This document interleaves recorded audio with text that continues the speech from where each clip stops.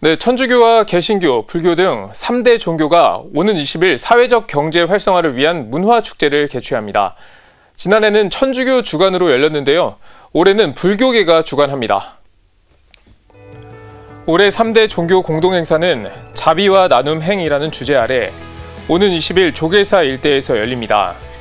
3대 종교의 사회적 기업 20여 곳은 이날 오전 10시부터 오후 5시까지 조계사 앞마당에 부스를 설치하고 시민들과 만날 예정입니다. 천주교에서는 발달 장애인들이 만든 쿠키를 파는 위켄센터, 고령 친화식품을 생산하는 복지 유니온 등 9곳이 참여합니다. 오전 11시부터 진행되는 기념식에서는 종교계와 정관계 지도자들의 축사와 우수사회적 기업 포상, 3대 종교의 공동선언이 진행됩니다. 오후에는 사회적 경제 활성화를 위한 3대 종교 성직자들의 간담회도 예정돼 있습니다. 천주교와 개신교, 불교는 사회적 경제 활성화를 위해 2015년부터 각 종단이 돌아가면서 사회적 경제 문화 축제 행사를 주관하고 있습니다. 사회적 경제란 이익 창출보다는 사람의 가치를 우위에 두면서 공동의 이익을 극대화하는 경제 활동을 말합니다.